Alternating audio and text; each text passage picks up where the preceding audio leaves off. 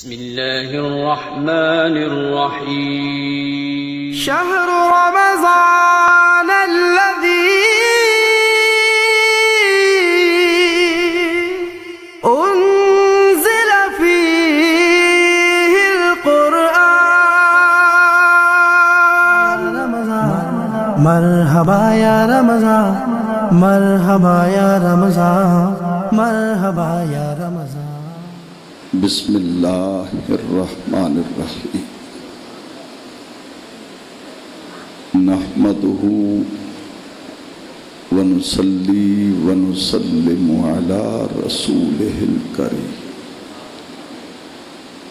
अम्मा बाद। बिस्मिल्लाहिर्रहमानिर्रहीम। या अय्युहल्लज़ीन आमनू।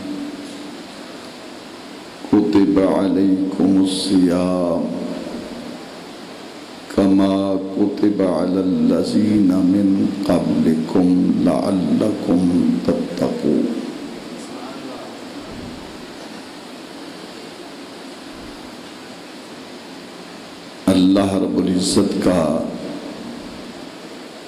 जिस कदर भी शुक्रिया अदा करें वो कम है। इसलिए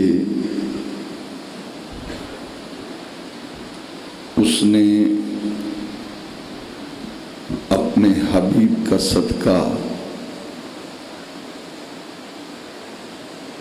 हमारी ज़िंदगी में एक मरतबा फिर उस मुक़द्दस मुअज़्ज़ज़ मेहमान को भेजा, जिसकी इज़्ज़त और तौकीर हर मुसलमान पर फ़र्ज़ है। अल्लाह रब्बुल इस मुक़द्दस महीने की इज़्ज़त और एहतराम करने के लिए ईमान की सलामती अता फरमाए और सेहत वाली ज़िंदगी अता फरमाए।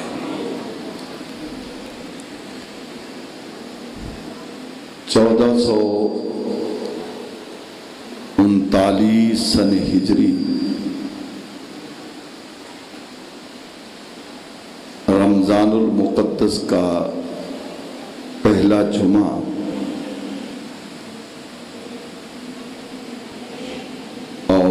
ईसवी हिसाब से मई की 18 तारीख है।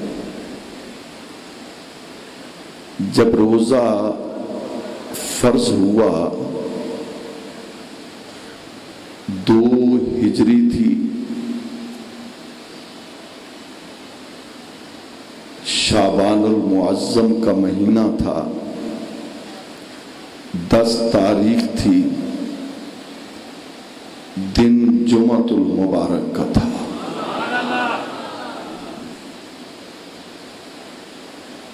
सबसे पहले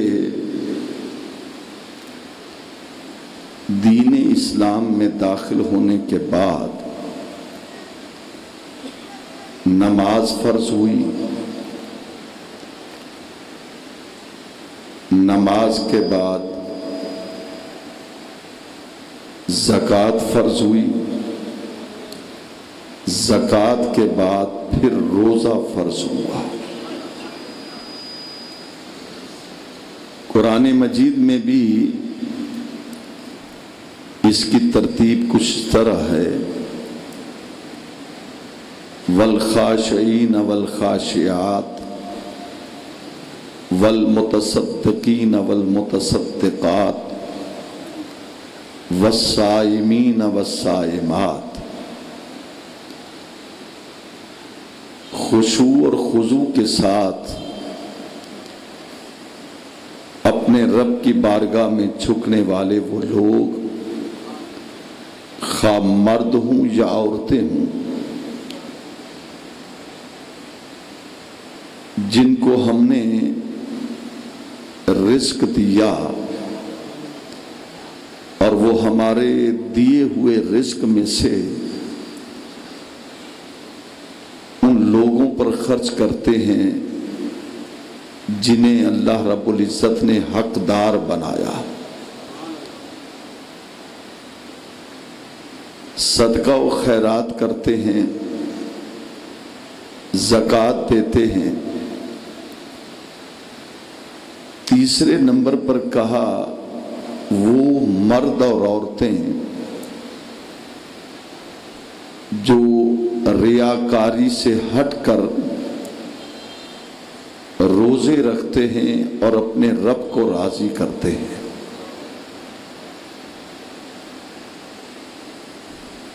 रोजा एक ऐसी इबादत है जिसमें जरा भी रियाकारी नहीं होती। नमाज़ जहन में ख्याल आ जाता है। वैसे नमाज़ हर इबादत रियाकारी से पाक होनी चाहिए। लेकिन कभी कभी ख्याल आ जाता है, भाई मैं नमाज़ पढ़ रहा हूँ, लोग मुझे अच्छा समझें। लोग मुझे नमाजी समझें।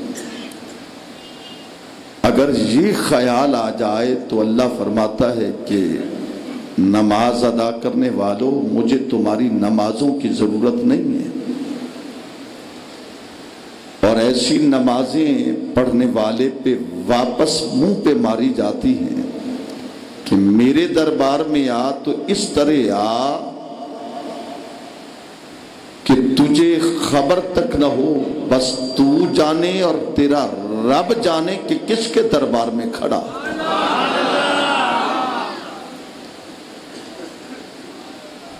किसी इबादत में रियाकारी का थोड़ा सा अंसर शामिल हो जाता है।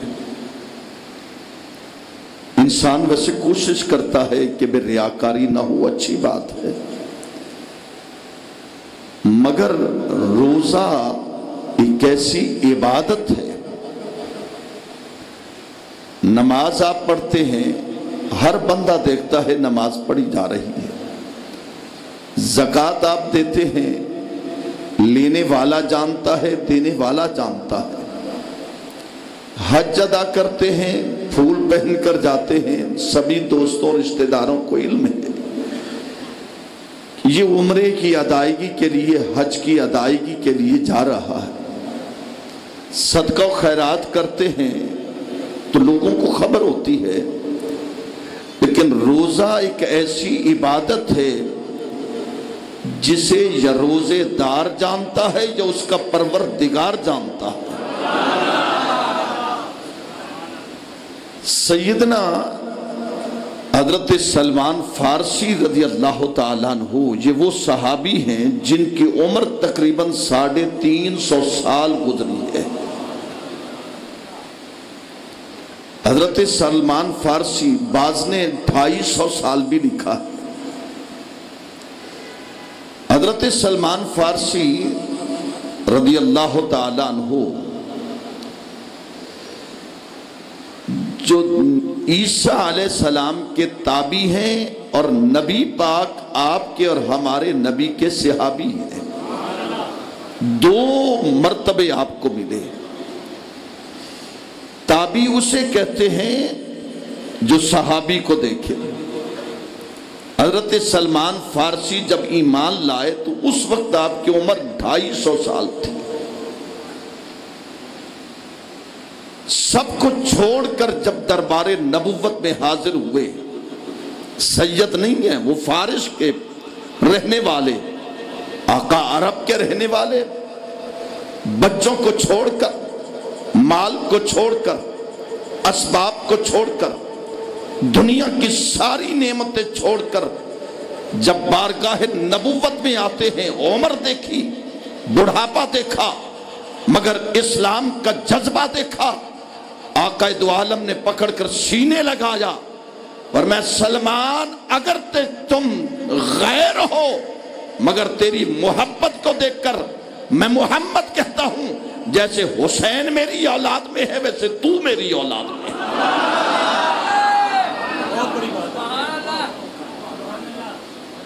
सैदना हज़रत सलमान फारसी, ये बरसबील तस्करा मैंने दो चार जुमले अर्ज़ किए हैं। हज़रत सलमान फारसी रज़ी अल्लाह तु फरमाते हैं, दो हिजरी थी, शाबान का महीना था दिन जुमे का था, नबी करीम मिंबर पे तशरीफ़ फरमा हुए।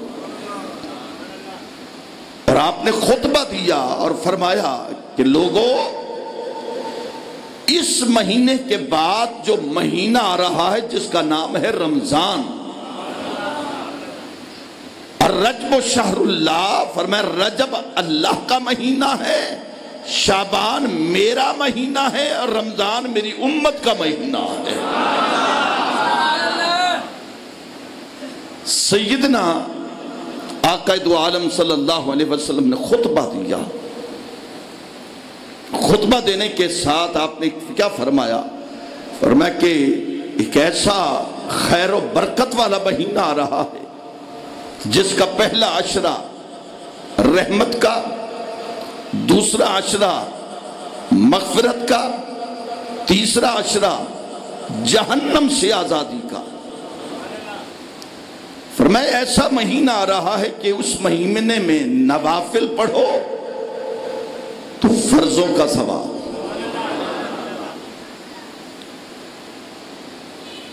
रोजा है ना आपका? हाँ। बस मुझे आपने बुलवाना है। क्योंकि आपका रोजा है थके हुए हैं, मुझे बुलवाना है, हमें, हमारे साथ जो भी बने। लेकिन मैं तो दुआ करता हूँ, मेरा और आपका रोजा उसकी बारगाह में कबूल हो जाए। तो रोजा ये तो नहीं कहता कि भाई सुबह अल्लाह भी ना कहो।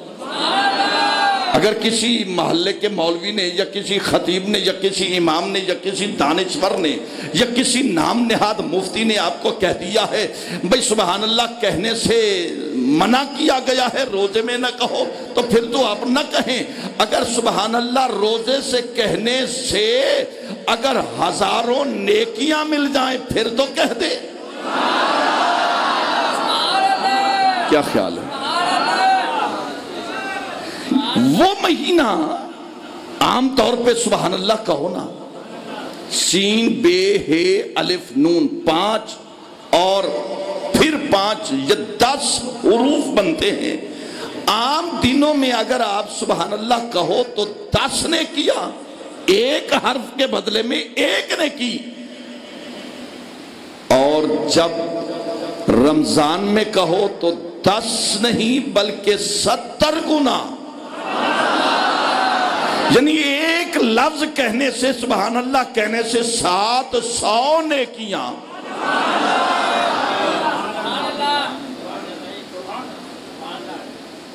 पर मैं फ़र्ज़ पढ़ो तो सत्तर फर्जों का सभा। अगर फ़र्ज़ पढ़ो, नवाफिल पढ़ो, फर्जों का सवाब फ़र्ज़ पढ़ो, सत्तर फर्जों का सवाब पर मैं सवाब किसी मौलवी ने देना है, नहीं, पीर ने देना है, नहीं, फिलासफर ने देना है, नहीं, मंतकी ने देना है नहीं, किसी इमाम ने देना है। नहीं, अल्लाह फरमाते सवाब तो मैंने देना है। जितनी मोहब्बत से तुम कहोगे, मैं हिसाब ही नहीं करूँगा। कहते, तुम जाओगे, देता मैं जाऊँगा।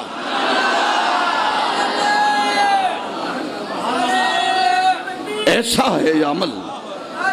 हर अमल हर अमल की जजा जन्नत है। नमाज़ पढ़ी जदा जन्नत, सदका दिया जदा जन्नत, जक़ात दी जदा जन्नत, सजदा किया जदा जन्नत माँ बाप का एहतराम किया जदा जन्नत भूखे को खाना खिलाया जदा जन्नत, प्यासे को पानी पिलाया जदा जन्नत, नंगे को कपड़ा पहनाया जदा जन्नत हर अमल की सजा, हर अमल की जजा। अब जुमला कर रहा हूँ, साहेबो, अगर दिल इजाज़त दे तो तोतला मस्जिद के तरह दीवार को कड़ा बना दो। हर अमल की जदा जन्नत है, और रोज़े की जदा खुद खाले के जन्नत है।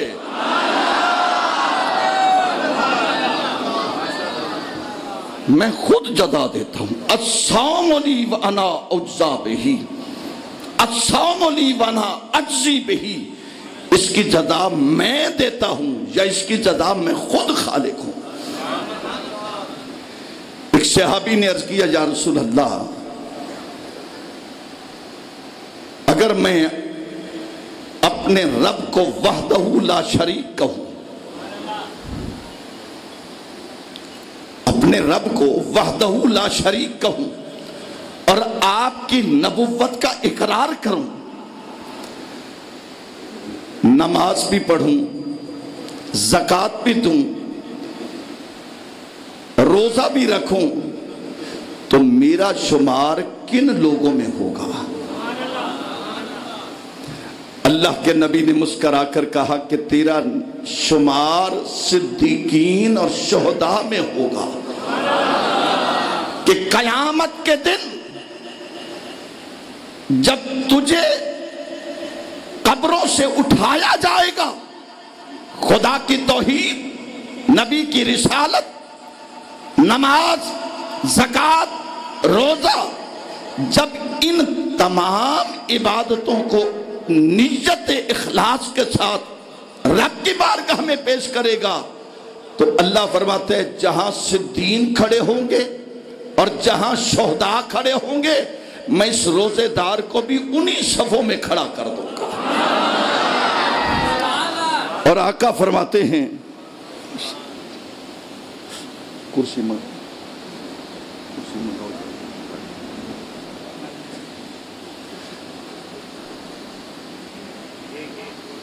सैयद दुआलम सल्लल्लाहु अलैहि वसल्लम ने फरमाया कि रमज़ान और रोजा, ये दोनों कयामत के दिन रोजेदार की शफात करेंगे। और रोजा फकत हम पे फ़र्ज़ नहीं हुआ, पहली उम्मतों पर भी फ़र्ज़ हुआ। कुरान, तू बता के किस तरह फ़र्ज़ हुआ? तबीयत को तरह खोल के बैठे। आपकी तबीयत पे बोझ पड़ता है तो मेरी तबीयत पे बोझ ज़्यादा पड़ जाता है। जब आपकी तबीयत खिलखिला उठती है तो फिर रहमतों के दरवाजे खोल जाते हैं। मेरे मालिक, कुरान पढ़ने से पहले मैं दुआ दे रहा हूँ, जो अब सुबह अल्लाह के उसको दुखड़े दूर कर दे। मेरे मालिक, जो अब सुबह अल्लाह के उसके रोज़े रखे कबूल कर ले। मेरे मालिक, जो अब सुबह अल्लाह के उसे हिम्मत और ताकत अता कर दे। मेरे मालिक जो अब सुबह अल्लाह कहे, रोज़े और इज़्ज़त अजमत और जुमे की बरकतों का सदका, आज रात आँख लगे तो दीदार मुस्तफ़ा हो जाए।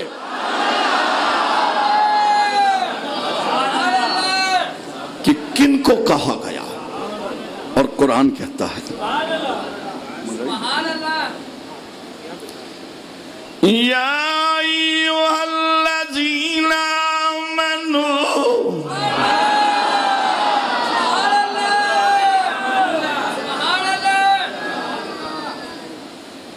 मेरे ख्याल जरा तुसाई में ॾह मिनट चुप चा करो। बिल्कुल ना आखो ताकि मैं कोई पता लगे ना जो कितने थके बैठे हो। अभी तो आज दूसरा रोजा है, जरा दिल आबाद आए खान साहब, मलिक साहब को नहीं देखे या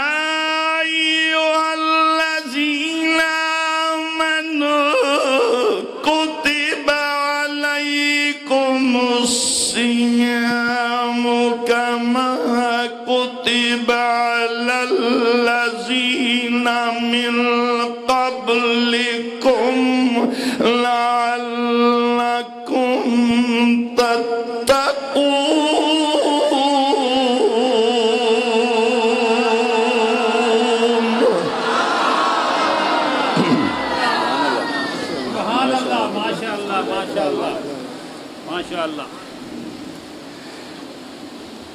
लोगो, ईमान वालो, रोज़े फकत तुम पर फ़र्ज़ नहीं हुए, बल्कि तुमसे पहली भी उम्मतों पर फ़र्ज़ हुए थे। जब मैंने तारीख अंबिया का मुतालिया किया आदम सलाम से लेकर ईसारुल्ला तक सभी ने और उनकी उम्मतों ने रोज़े रखे। हज़रत आदम सलाम की बारी हो तो कहा गया, हज़रत आदम सलाम ने ज़िंदगी में हर महीने तीन रोज़े रखे। अय्या में बीस जिन्हें कहा जाता है, वो तेरह, चौदह, पंद्रह, हर महीने तीन रोज़े रखते थे। हज़रत नूह सलाम हर महीने दो रोज़े रखा करते थे। हज़रत मूसा सलाम कभी कभी चालीस रोज़े रखा करते थे। हज़रत ईसा सलाम, हज़रत ईसा सलाम, हर नबी जितनी भी उनकी उम्मतें थी, रोजा फ़र्ज़ था। फरमाया, ईमान लाने वालों, हमने तुम पर रोज़े फ़र्ज़ किए। ये ना कहना कि रोज़े हम पर फ़र्ज़ हुए।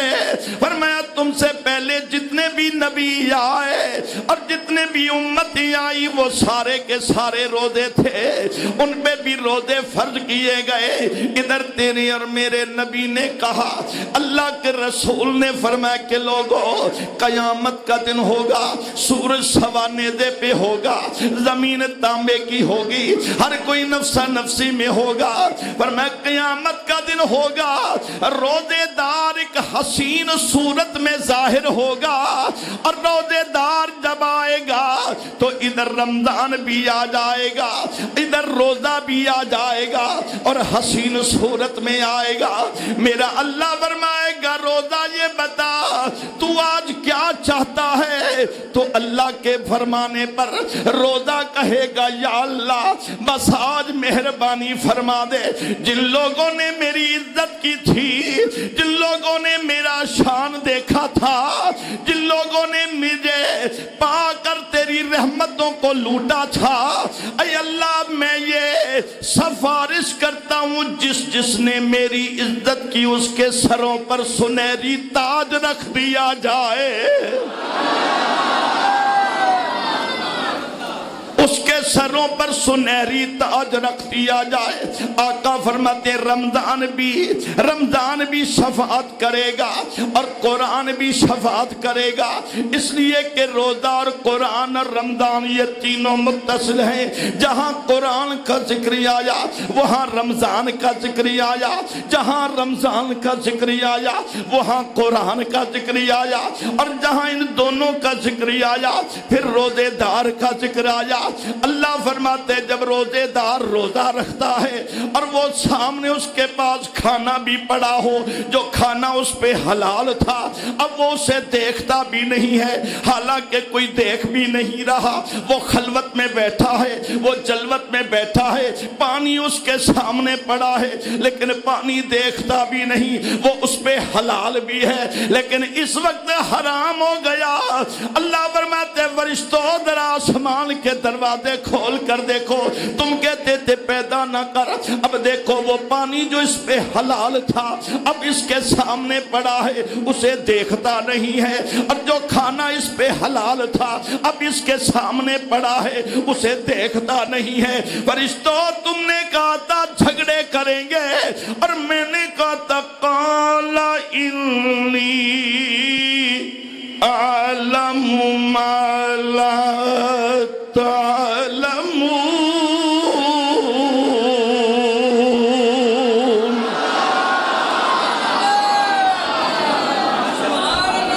नहीं, एक मरतबा जरा हाथ बुलंद करके हाथों की गवाही दे दो सुबहान अल्लाह।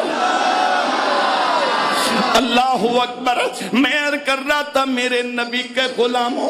अल्लाह फरमाते, फरिश्तों, जो कुछ मैंने कहा था, तुम नहीं जानते। आओ जरा मेरे रोजेदार को देखो।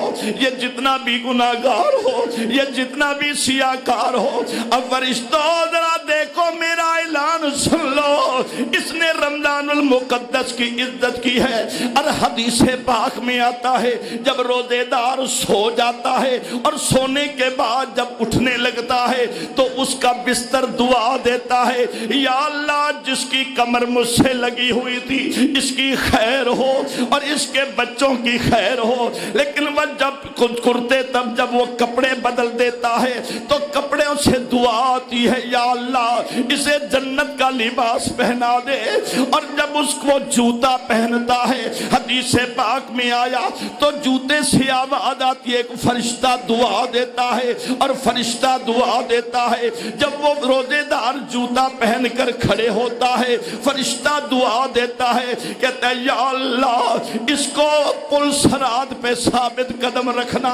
और जब ये बंदा सो जाता है, अल्लाह फरमाते फरिश्तों, इसके करीब खड़े हो जाओ। ये सो गया है, इबादत नहीं कर रहा, लेकिन हर सांस के बदले इसके लिए सवाब लिखते जाओ।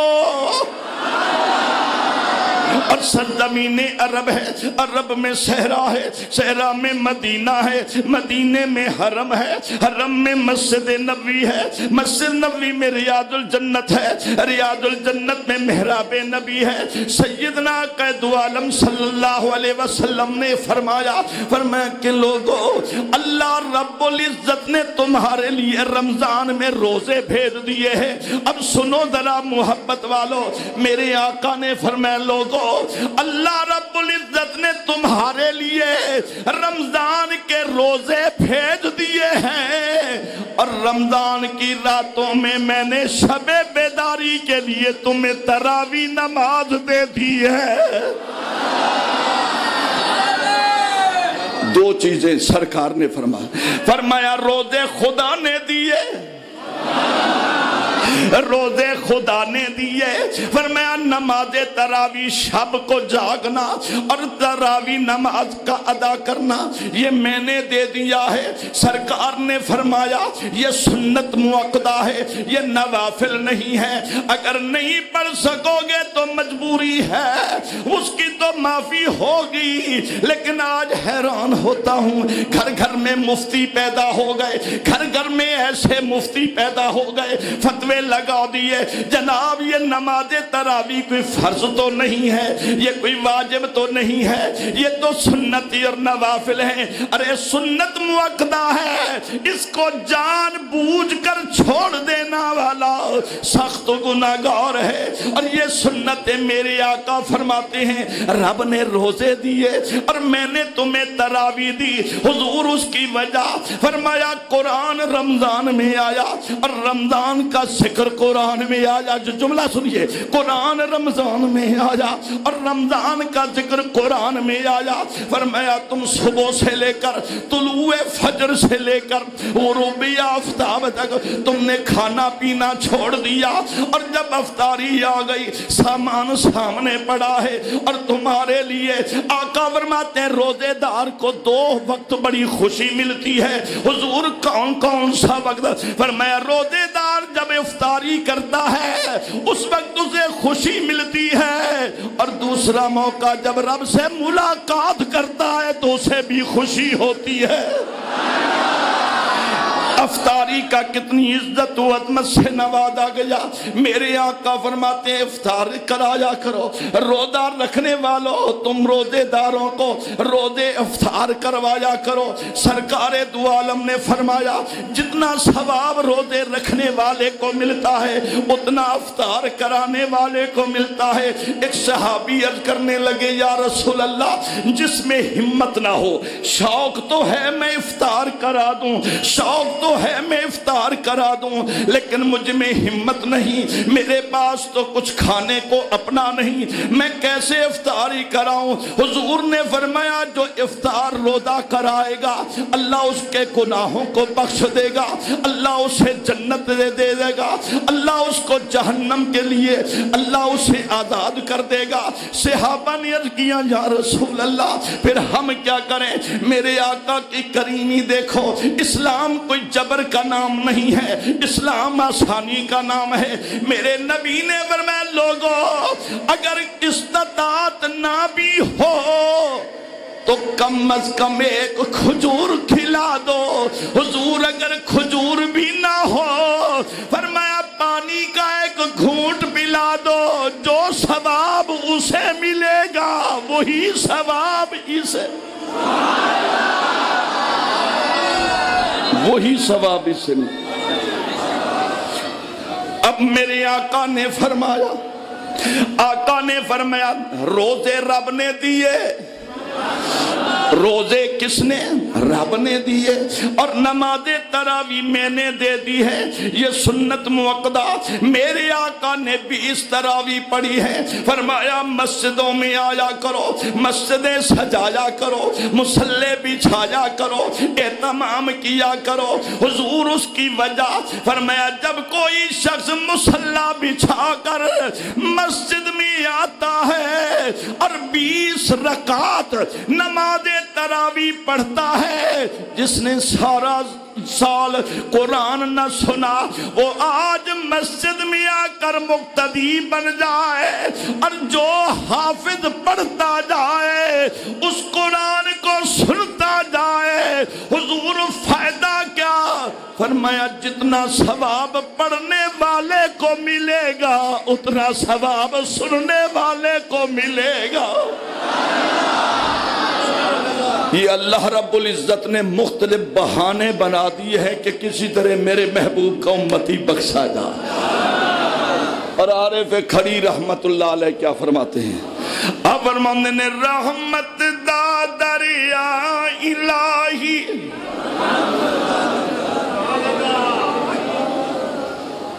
उच्च ना पड़ा उच्च ना पड़ा है। रहमत दाद रहमत दा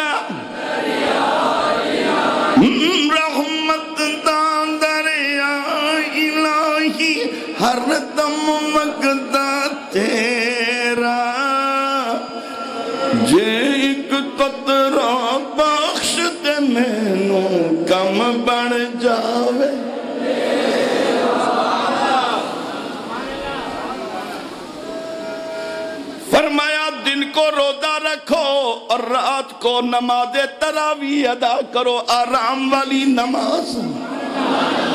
और इसमें कुरान सुना करो और बरकतें हासिल करो। सरकार फरमाते जो दिन को रोजा रखे और रात को नमाज़ तरावी पढ़े, फरमाया, रमज़ान सारे महीनों का दिल है। रमज़ान सारे महीनों का दिल है। और जब दिल ठीक होगा तो सारा साल ही ठीक हो जाएगा। दिल ठीक होगा तो सारा साल ठीक हो जाएगा। दो चीज़ों का सरकार ने हुक्म मजीद दिया। पर मैं एक तो जक़ात निकालो और रमज़ान के रोज़े रखो। जक़ात क्यों? ये अल्लाह का हुक्म है, फ़र्ज़ है। मूसा सलाम को अल्लाह ने नबूबत दी। कारून को अल्लाह ने दौलत दी। अल्लाह ने फरमाया, प्यारे मूसा कारून को कहो, मैंने तुझे खजाना दिया है, मेरे रास्ते पर खर्च कर जक़ात निकाल। मेरे रास्ते पर खर्च कर जक़ात निकाल। मूसा सलाम ने कहा कि कारून अल्लाह फरमाते हैं, मैंने तुझे खजाना दिया है, मेरे रास्ते पर खर्च कर। लगा, वाह नौजबिल्ला खुदा मेरे खजाने का भूखा हो गया है। उसका कहा खजाना? खजाना तो मेरा है। मेहनत मेरी, पैसा मेरा, खजाना मेरा, तिजारत मेरी, माल मेरा, सब कुछ तो मेरा है। उसका कहाँ है? मूसा सलाम ने अर्ज़ किया, या अल्लाह, सुना। फरमाया हाँ मूसा, एक मरतबा फिर भी कहो।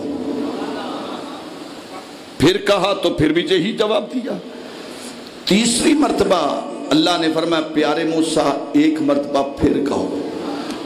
जब तीसरी मरतबा जवाब दिया तो अल्लाह ने फरमाया, प्यारे मूसा, आप हट जाएँ, अब मेरी कुदरत का नज़ारा देखिए सारे खजाने की चाबियाँ, सब खजाने की चाबियाँ उठाकर कारून के सामने रख दी। कारून को ज़मीन में दफन किया, सिर्फ़ सर बाहर था। तो अल्लाह ने फरमाया, कारून, अब बता, खजाना तेरा है या खजाना मेरा है? जक़ात माल की मैल है। जक़ात माल की मैल है। सरकार फरमाते जक़ात दो तो मैल माल की निकल जाएगी। और रोजा बदन की मैल है जब रोजा रखोगे तो बदन साफ़ हो जाएगा। सैयद दो आलम सल्लल्लाहु अलैहि वसल्लम बड़ी मारूफ हदीस है मेरे नबी के गुलामों, सैयद दो आलम से मोहब्बत करने वालों, सैयदना का दो आलम मिंबर पे तशरीफ़ फरमा हुए। मेरे नबी ने फरमाया, आमीन। जब दूसरी सीढ़ी पे कदम रखा तो मेरे नबी ने कहा, आमीन। जब तीसरी सीढ़ी पे कदम रखा तो नबी ने कहा, आमीन। ये तीन मिंबर की सीढ़ियों पे कदम रखा तो मेरे नबी ने आमीन कहा। नमाज़ खत्म हो गई। नमाज़ के बाद सहाबा का मजमा है। मेरे नबी की बारगाह में, सरकार की बारगाह में सवाल करते हैं, या रसूल अल्लाह इतना बताएँ कि आपने आज नमाज़ से पहले, जो खुतबा दिया खुतबे पे चढ़ने से पहले, आपने पहली सीढ़ी पर कदम रखा तो आपने कहा, आमीन। और दूसरी सीढ़ी पर कदम रखा तो आपने फरमाया, आमीन। और तीसरी सीढ़ी पर कदम रखा तो फरमाया, आमीन। हुजूर, इसकी वजह मेरे नबी ने फरमाया, सहाबा, जब मैंने पहली सीढ़ी पर कदम रखा तो हज़रत जबरीली अमीन हाजिर हुए और उन्होंने कहा, या रसूल अल्लाह उस शख्स से कभी रहमत करीब नहीं होगी। वो रहमत से दूर हो जाएगा, जो रमज़ान मुकद्दस को पाए और जान बूझ कर उसकी इज़्ज़त न करे। और जब मैंने दूसरी सीढ़ी पर कदम रखा तो जबरील अमीन फिर हाजिर हुए और कि, या रसूल अल्लाह अल्लाह फरमाता है, वो शख्स भी अल्लाह की रहमत से दूर रहेगा, जो माँ बाप को बुढ़ापे में पाए और माँ बाप की खिदमत करके जन्नत हासिल न कर से, उससे भी रहमत दूर हो जाएगी। और जब मैंने तीसरी सीढ़ी पर कदम रखा, जबरीली अमी फिर हाजिर हुए। उन्होंने कहा, या रसूल अल्लाह वो शख्स भी रहमत के कभी करीब ना होगा, जो मेरा नाम सुनी और मुझ पर दरूद ना पढ़े। तीन चीज़ों का ज़िक्र किया, फिर मैं रमज़ान मुकद्दस की इज़्ज़त माँ बाप की इज़्ज़त और मेरे नाम की इज़्ज़त सैदना के दुआलम के गुलामों, अल्लाह ने कितना किस कदर अपने नबी के गुलामों के लिए मुख्तलिफ़ बहाने बना दिए। कभी रमज़ान दे दिया, कभी रमज़ान में शब कदर दे दी, कभी रोजा दे दिया, कभी रोज़े में भूख में रखकर और भूख में रखकर अल्लाह फरमाता है कि हमने तुम्हारी सेहत को बेहतर बना दिया। और कभी नमाज़ पंजगाना देकर मकसद ये है कि मेरे नबी का उम्मत ही बख्शा जाए। सैदना कैदवालम फरमाते हैं, हज़रत ईसा सलाम, हज़रत ईसा सलाम जंगल में जा रहे हैं। एक पहाड़ी पर कुब्बा देखा, वो चमक रहा था। फरमाते वो करीब गया, ईसा सलाम। फरमाते मैं करीब गया तो देखा वो कुब्बा फट गया। उसमें से एक शख्स बाहर निकला और वो इबादत कर रहा था। मैंने उससे पूछा, तुझे कितनी मुद्दत हो गई यहाँ इबादत करते करते? उसने कहा, मुझे चार सौ साल हो गए इबादत करते करते।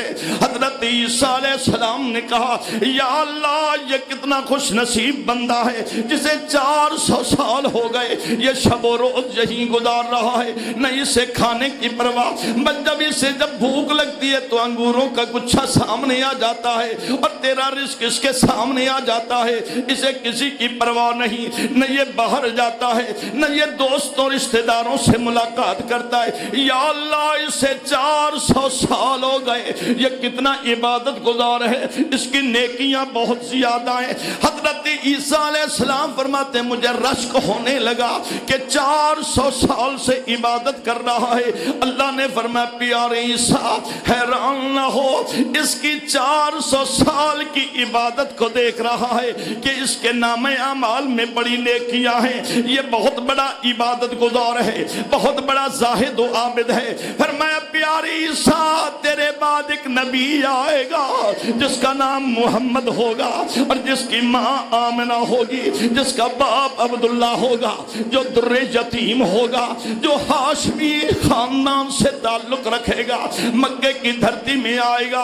उस नबी को जो उम्मत दूँगा, उस उम्मत को एक महीना दूँगा वो महीना रमज़ान का होगा, उस रमज़ान में एक रात दूँगा जो शबे कदर होगी, और उस रात को वो उम्मती दो रकात नमाज़ नफल पड़ेगा। ये चार सौ साल से वो दो नफल ज़्यादा इबादत रखते होंगे। ये जो कुछ भी मिला है, अल्लाह ने हमें अपने नबी का सदका दिया। क्यों भाई? और आला हज़रत फरमाते जमीनो जमा जमीनो जमा, तुम्हारे लिए और मकीनो मकान तुम्हार पढ़िए जरा मोहब्बत से, जमीनो जमा हाँ जमीनो जमा, तुम्हारे और मकीनो मकान तुम्हारे लिए। और दहन में ज़ुबान, दहन में ज़ुबान तुम्हारे लिए। और बदन में है जान तुम्हारे लिए। हम आए जहाँ। हम किसके लिए आए? भी अपने नबी के लिए। खुदा की रजा लेने के लिए और उसके महबूब की मोहब्बतें लेने के लिए। या यूँ कहूँ कि खुदा की रजा के लिए और नबी की वफा के लिए। हम आए जहाँ, हम आए जहाँ तुम्हारे लिए और उठे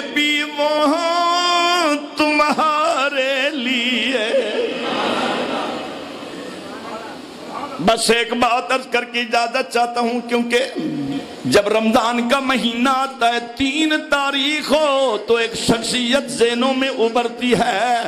वो शख्सियत कौन है? जिस शख्सियत को रब का सलाम आता हो, वो शख्सियत कौन है? अरे, जिस पर मेरा नबी नाश करे, वो शख्सियत कौन है? जो जन्नती औरतों की सरदार हो, अरे, वो कौन है? मेरे नबी की बेटी सैयदा तैयबा ताहिरा आबेदा आलेमा, खातून जन्नत फातिमा जारा, जिसका विशाल तीन रमज़ान मुकद्दस को हुआ। ये वो जगह है जहाँ हज़रत बहाबुद्दीन जक्रिया मुल्तानी के कदम लगे। ये वो जगह है जहाँ रुकनुद्दीन नूरी हुजूरी के कदम लगे। ये वो जगह है जहाँ गदारी दौरा के कदम लगे। ये वो जगह है जहाँ मेरे वालिद गिरामी ने बेलास तीस साल नबी के दीन की इज़्ज़त व अजमत के झंडे लहराए। ये वो जगह है जहाँ बुजुर्गान दीन ने कदम रखे हैं। मैं दुआ देता हूँ, आप आमीन कह देना। मेरे मालिक, तुझे तेरी इज़्ज़त का वास्ता तुझे तेरी अजमत का वास्ता, तुझे तेरी इज़्ज़त का वास्ता, तुझे ताजदार खत्म नबूवत का वास्ता, तुझे सिदाकत सिद्दीक का वास्ता, तुझे अदालत फारूकी आदम का वास्ता, तुझे सखावत उस्मान गनी का वास्ता, तुझे शुजात अली का वास्ता, तुझे नबी पाक की प्यारी बेटी सैयदा फातिमा का वास्ता। या अल्लाह, जितने भी औलाद हैं, ऐसा कर्म कर दे हर भी औलाद की झोली में नेक औलाद दे दे। या अल्लाह, तेरे दर में ना देर है, ना देर है। लेकिन जिस जिस शहजादी का मैं बयान कर रहा हूँ, अरे वो मेरे नबी की बेटी सैदना कैदुआलम का जब विशाल हुआ, सबसे ज़्यादा दुख मेरे नबी की बेटी के हुआ। हज़रत फातिमा जहरा रो रही है। मेरे आका दुआलम ने फरमाया, फातिमा, अन करीब मैं ये दुनिया छोड़ कर जाने वाला हो। हज़रत सैदा फातिमा रोने लगी। मेरे नबी ने करीब बुलाया। पर मैं फातिमा, मेरे जाने के बाद खानदान में सबसे पहले जो मिलने वाली शख्सियत होगी पर मैं फातिमा, वो तू होगी। साढ़े पाँच महीने या छह महीने गुजरे।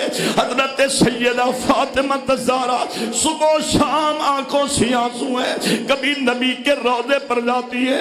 और औलाद वालों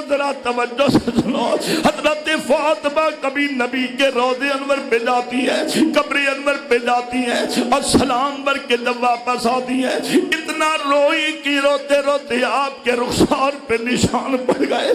तीन शख्सियात, चार शख्सियात बहुत ज़्यादा रोई। एक हज़रत आदम सलाम और हज़रत हवा जब जन्नत से ज़मीन पर आए, इतना रोए कि तीन सौ साल गुजर गए और दूसरे नंबर पर हज़रत याकूब सलाम कुरान कहते बाबा हो मिनल हुस्न फहुवा कदीम हज़रत याकूब सलाम अपने बेटे की जुदाई पर रोए और तीसरे नंबर पर हज़रत सैयदा फातिमा जहरा नबी के विशाल के बाद इतनी रोई कि रोते रोते आपकी आँखों में जो आँसू निकलते, या रुखसार पे निशान पड़ गए। एक दिन मौलाए कायनात ने हसनैन करीमैन को बुलाया और बीबी जैनब को बुलाया। इन तीनों शहजादों और तीनों शहजादों, तीनों बेटी और दो बेटों को बुलाया। और बीबी फातिमा जहरा, बीबी फातिमा जहरा की झोली में लिटाया और फरमाया कि, फातिमा, ये तेरे जिगर के टुकड़े हैं, ये हसनैन करीमैन है। फरमाया, फातिमा, ये बेटी तेरी जैनब है, इतना न रोया कर। हज़रत फातिमा जहरा ने कहा, ए अली, बेशक तुम शफीक भी हो, तुम मेहरबान भी हो, लेकिन इतना बताओ जो प्यार मुझे बाप दिया करता था, वो कौन देगा? अरे कुरान आए तो मेरा नबी न उठे, अरे जिब्रील आए तो मेरा नबी न उठे, अरे कायनात की हर चीज़ इज़्ज़त व अजमत, मैं नबी की मोहब्बतों पे कुर्बान कर दूँ। अरे कुरान आए तो मेरा नबी न उठे, हम यहाँ बैठे हैं अगर कोई कुरान मजीद बाहर से लेकर आ जाए, हम कुरान की इज़्ज़त अजमत की खातिर खड़े हो जाते हैं। अगर कोई बुज़ुर्ग आ जाए, मेरे मोहतरम किबला मामू जान, जनाब अलहाज मोहम्मद हाशिम खान, अल्लाह इनकी उम्र में बरकत अता फरमाए। मेरे खानदान के बुज़ुर्ग हैं। अगर कोई बुज़ुर्ग आ जाए, हम खड़े हो जाते हैं। लेकिन यारो, अगर कोई बुज़ुर्ग आ जाए तो हम खड़े हो जाए। लेकिन मदीना तैयबा की सरजमीन हो। अरे कुरान आए तो मेरा नबी खड़ा ना हो। अरे जबरील आए तो मेरा नबी खड़ा ना हो। लेकिन जब बेटी आए नहीं यूँ नहीं, जरा मोहब्बत से आवाज़ लेकिन किबला, जब बेटी आए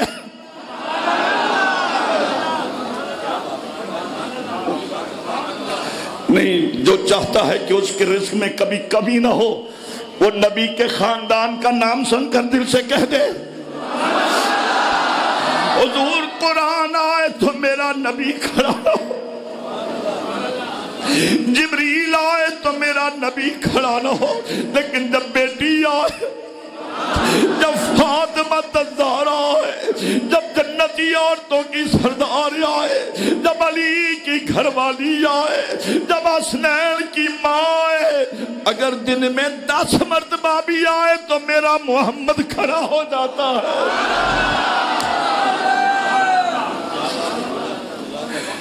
हसनैन करीमैन को गोदी में बिठाया, बीबी जैनब को बिठाया, कहा कि, ए फातिमा ए फातिमा, जरा देख, ये तेरे बच्चे, तेरी आँखों की ठंडक, तेरे दिल का चैन। सैयदा जहरा ने कहा, बेशक मेरे दिल का चैन है, लेकिन जो इज़्ज़त मुझे बाप दिया करता था, वो कौन देगा? जो इज़्ज़त बाप दिया करता था, वो कौन देगा? इधर हज़रत हसनैन करीमैन है, उधर बीबी जैनब है। ये दो भाई ये एक बेटी, हज़रत बीबी जैनब सलामुल्ला, उनको पकड़ कर सीने लगाया। अब सुनो रमज़ान अल मुकद्दस की तीन तारीख है, और ग्यारह और ग्यारह, और दो सरकार दो आलम के गुलामों, ग्यारहवा ग्यारहवा साल हिजरी का तीन रमजानुल मुकद्दस को हज़रत बीबी फातिमत जारा ने तीनों बच्चों को गले लगाया और फिर अली मुर्तजा से कहा अली इन तीनों बच्चों को मेरे न, मेरे बाबा मोहम्मद के मजार पर ले जाओ। जब वो वापस ले गए हज़रत बीबी जहरा उठी अपने हाथों से आटा गूंदा और अपने हाथों से रोटी बनाई और बीबी जहरा ने अपने बच्चों को नहलाकर कपड़े भी पहना दिए। इधर बर्तन भी धो दिए, इधर कपड़े भी धो दिए, और आपने आटा भिगोन कर रोटियाँ बना दी। सरकार अली मुर्तदा वापस आए तो देखा दोनों काम हुए पड़े हैं। फिर मैं फातिमा, आज तक तूने दोनों काम इकट्ठे नहीं किए, इसकी वजह किया है? फरमाने लगी अली, रात में सोई, ख्वाब में मुझे रसूलुल्लाह का दीदार हो गया। है रात को मैं सोई, रसूलुल्लाह का दीदार हुआ है। उन्होंने कहा कि बेटी, कल तीसरा रोजा तू मोहम्मद की कचहरी में इफ्तार करेगी। तो हज़रत अली मुर्तदा के पूछने पर पर मैं अली, मैंने खाना बना दिया। मैं देख रही हूँ, पता नहीं मेरे बच्चों को कौन खिलाएगा। मैंने कपड़े धो दिए हैं। न जाने मेरे बच्चों के कपड़े कौन धोएगा। बस इसी असरा में बच्चे जब वापस आते हैं खुदारा जरा समझो। ओ आजी सहबानो, जहाँ सरकार का रौदे अनवर है और वो कदमों वाली जगह, जो कदमैन वाली जगह है। वहाँ से पीछे हटो तो वो हुजरा है। हुजरे के साथ वो छोटा सा दरवाज़ा, वो दरवाज़ा वो हुजरा। हज़रत बीबी फातिमा तजहरा का है। बीबी फातिमा तजहरा का वही हुजरा।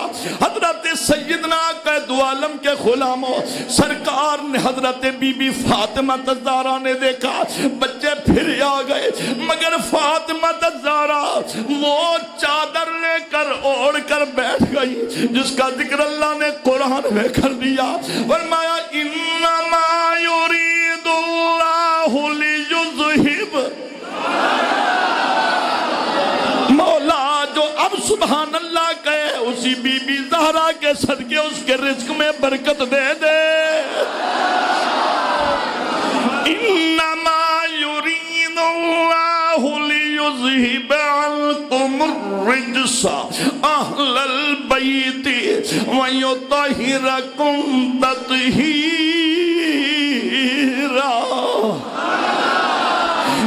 बीबी फातिमा तजहरा ने चादर ओढ़ी बच्चे आए बाबा अम्मी कहाँ है तो सैयदा जहरा पाक चादर ओढ़ कर बैठी हैं बच्चों की आवाज सुनी तो चेहरे से चादर उठाई बच्चों को सीने लगाया और प्यार किया और जब प्यार किया सैदना इमाम हसन के लबों को चूमा और हज़रत इमाम हुसैन की गर्दन को चूमा। पर मैं बेटा ख्याल करना, हज़रत सैदा जैनब सलामुल्लाह से कहा, बेटी, ख्याल करना एक वक्त आएगा। मैदान करबो बला होगा, सूरज गर्मी में होगा और तपता हुआ सेहरा होगा। पर मैं बेटा ख्याल करना जब मेरे हुसैन पे आजमाश का वक्त आए तूने मेरे बेटे हुसैन का ख्याल करना हज़रत हसन का ख्याल करना। यहाँ इजाज़त तो, तो आरिफ खड़ी क्या बोल तू थे? अबर मते भाई बायां दे दर्द मंडोंदे।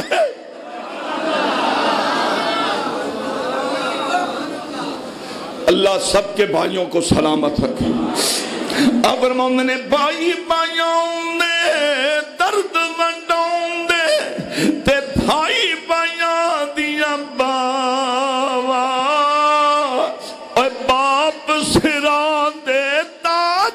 मुहम्मद मावा ठंडिया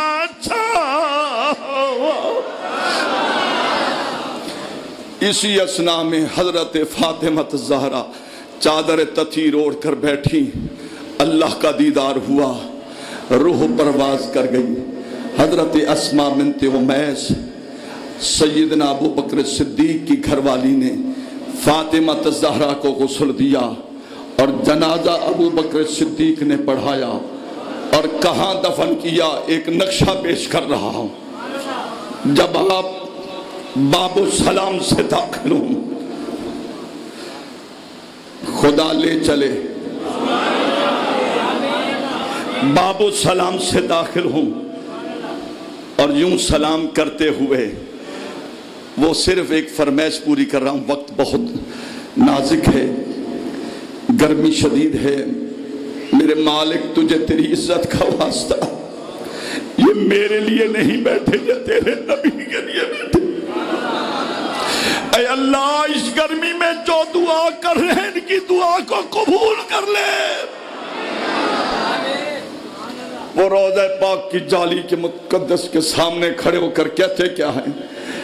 ले दे चिट्ठियाँ मदीने नु आवण दिया ले दे चिट्ठियाँ मदीने नु जावण दिया। ए मन लेंदा तेरी खुदा गड दे ने सा गड